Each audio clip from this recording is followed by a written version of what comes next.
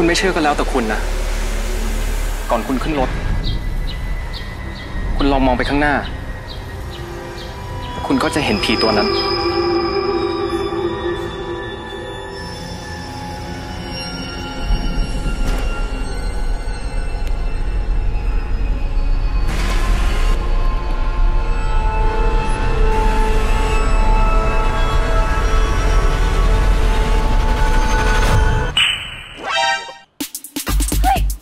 หลอกด่าว่าฉันหน้าเหมือนผีเหรอ